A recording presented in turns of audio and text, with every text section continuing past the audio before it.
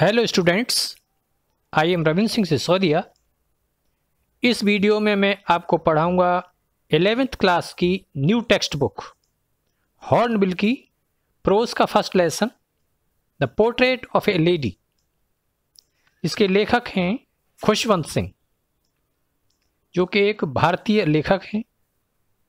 उन्होंने अपनी ऑटोबायोग्राफी अपनी आत्मकथा में अपनी दादी के जीवन और उनके साथ उनका अपना कैसा रिलेशन था, उसके बारे में बहुत कुछ लिखा है।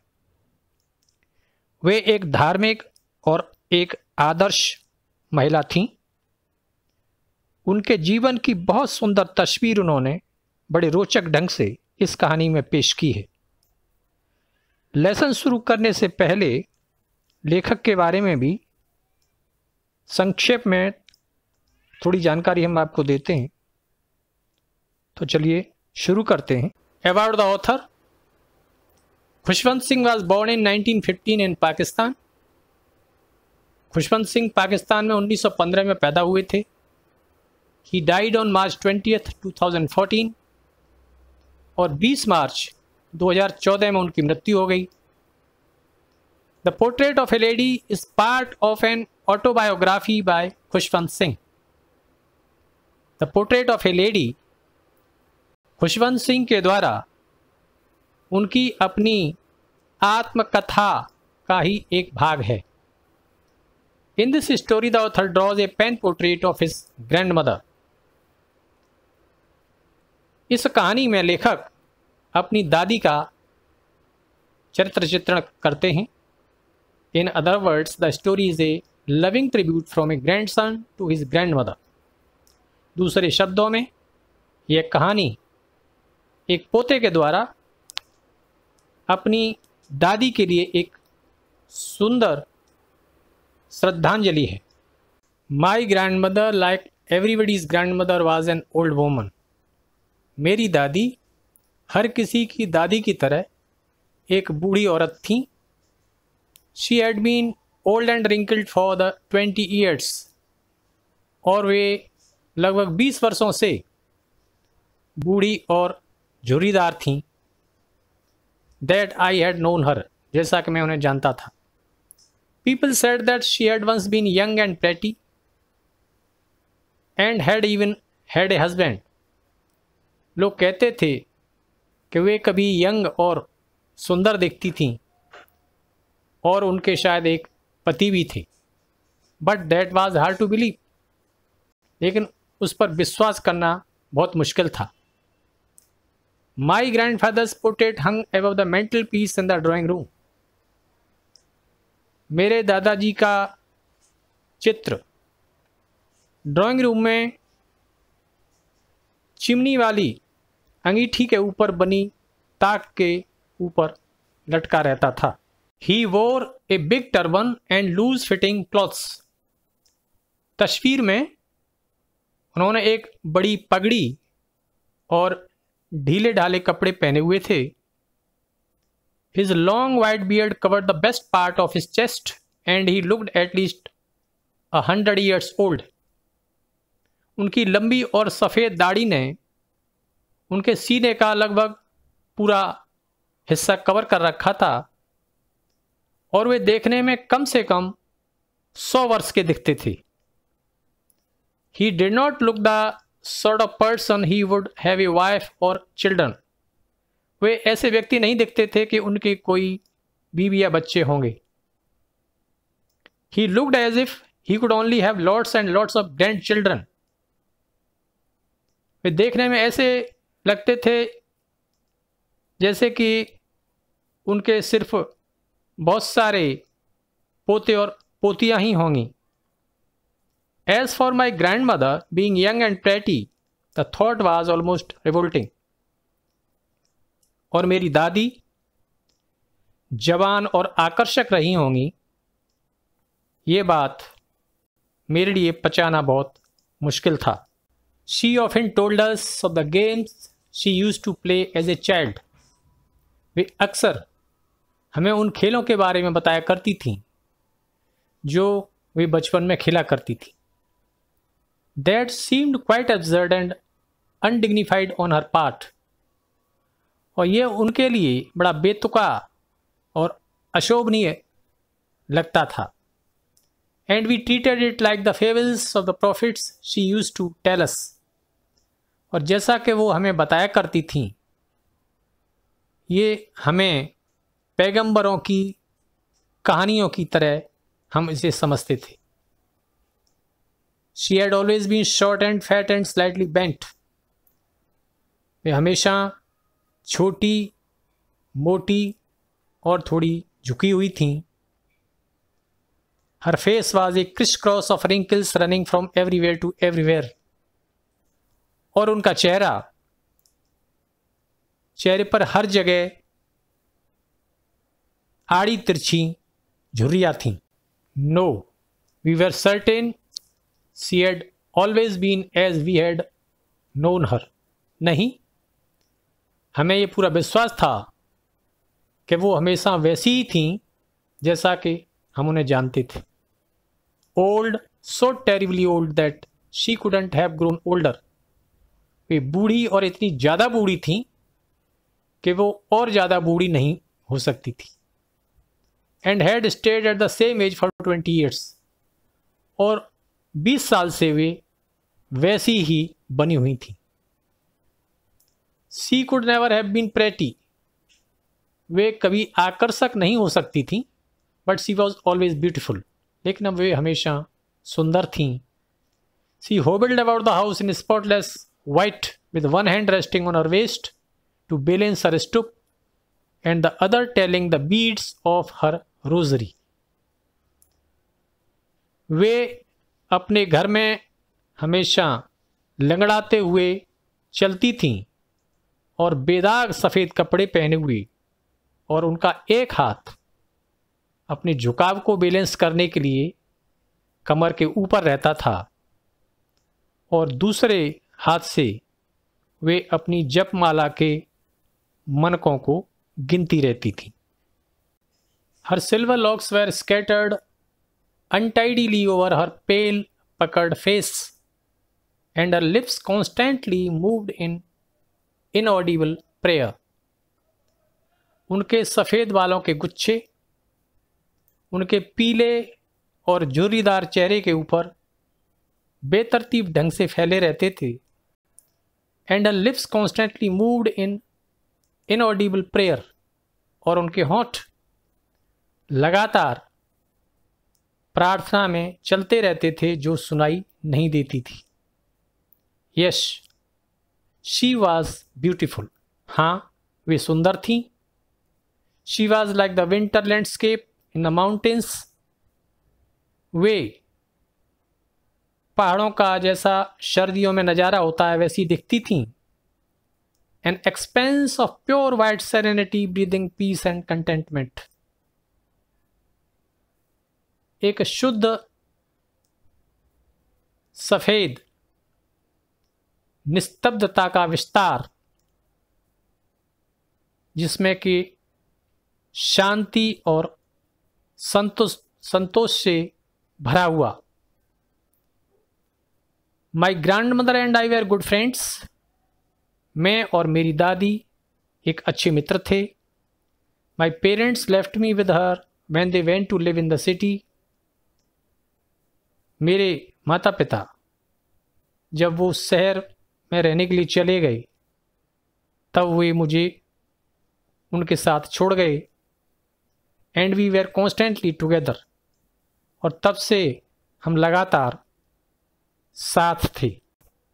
She used to wake me up in the morning and get me ready for school वे मुझे सुबह जगा देती थीं।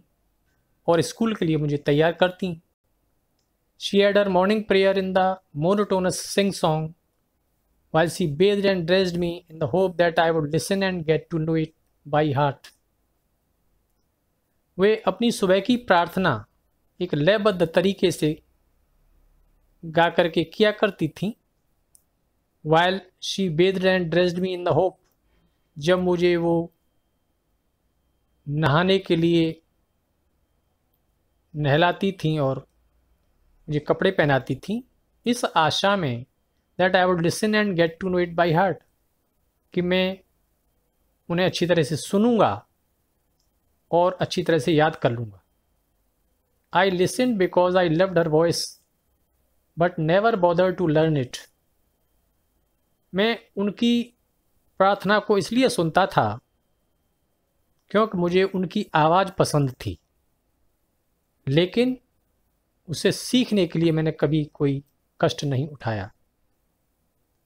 Then she would fetch my wooden slate फिर वे मेरी लकड़ी की बनी हुई स्लेट लाती which she had already washed and plastered with yellow chalk जिसे वो पहले ही धो चुकी होती और पीली खड़िया से पोत चुकी होती थी। A tiny earthen ink pot एक छोटा मिट्टी का बना हुआ स्याही का दबात, एंड ए रेड पेन और एक लाल कलम। Tie them all in a bundle और उन सबको एक बंडल में बाँध कर and hand it to me, और उन सबको वो मुझे सौंप देती थी।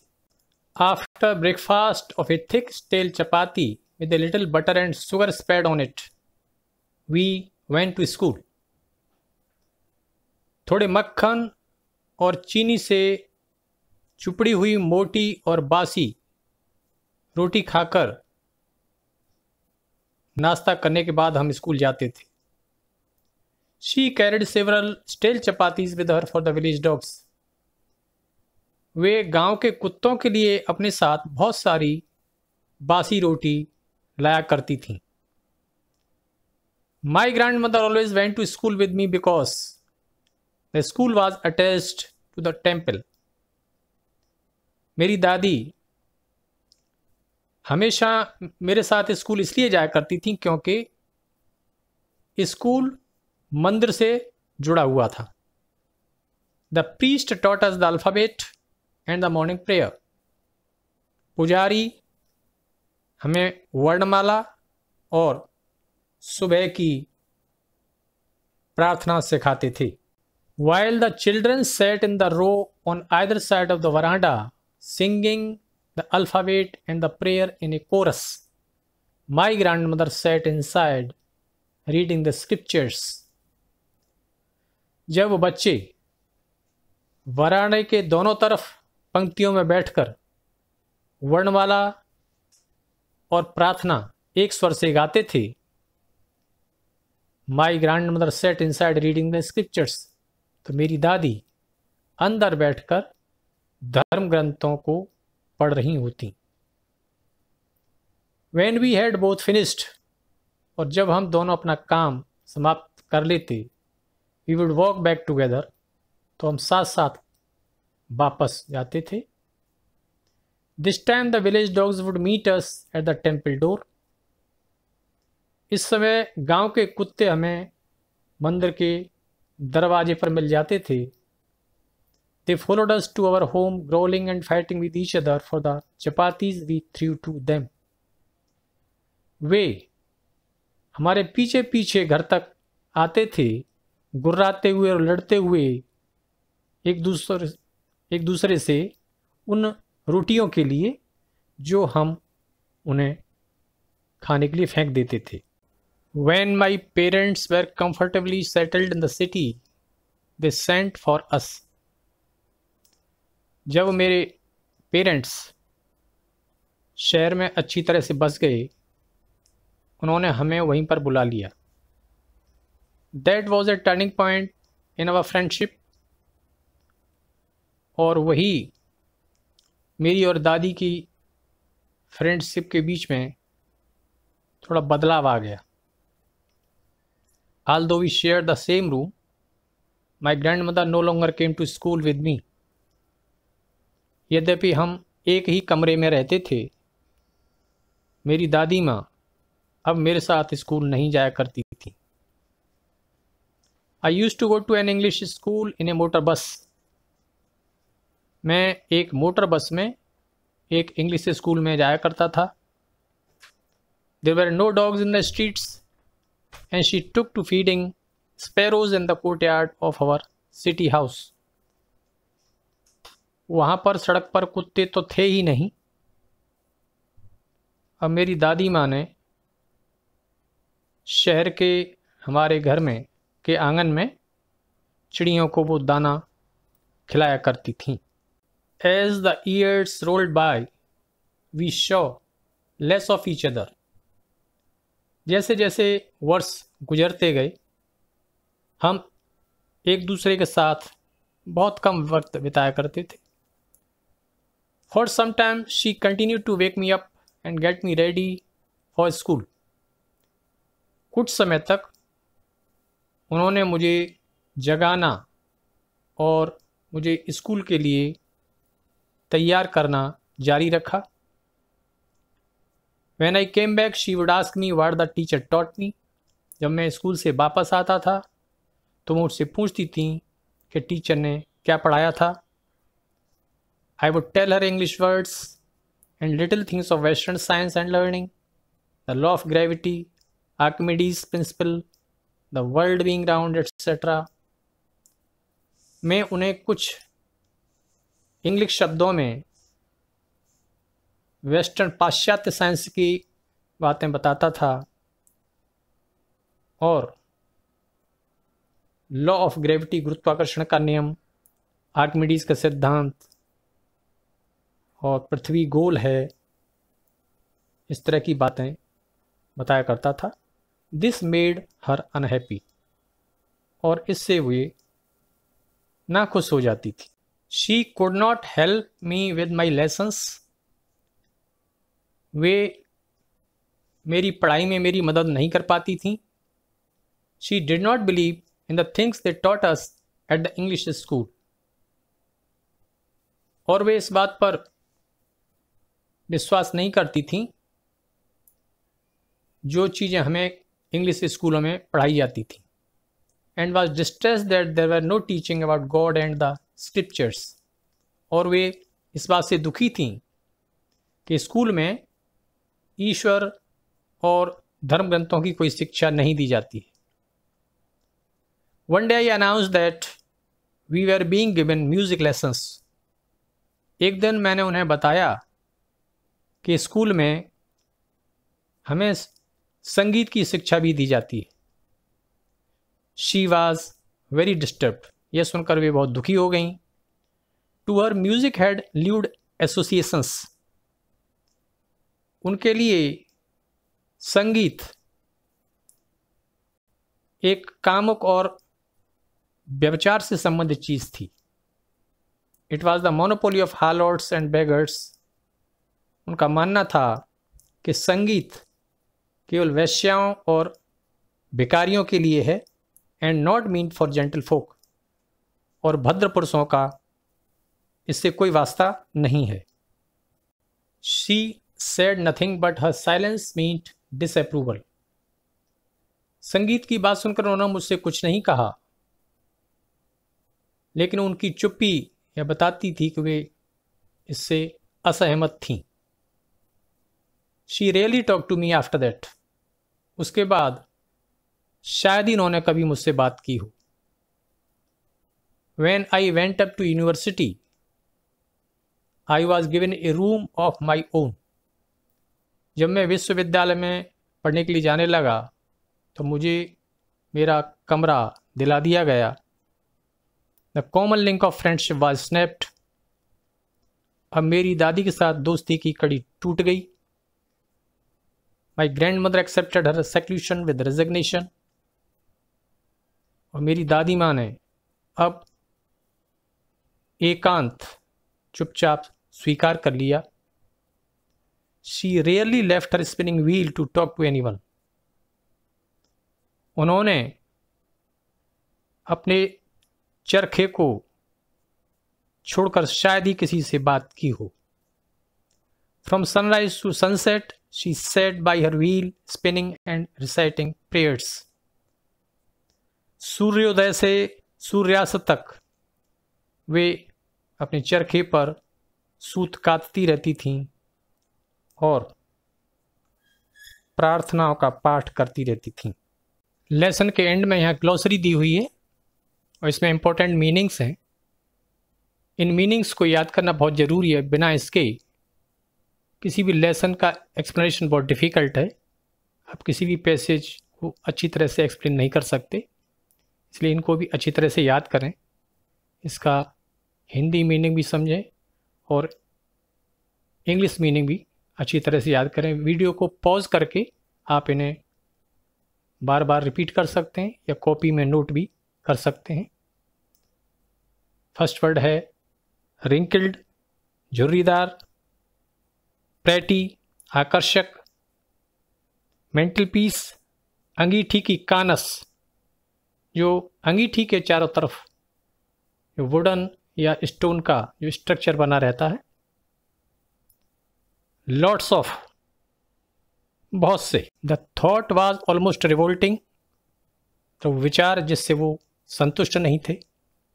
एफसर्ड बेतुका, असंगत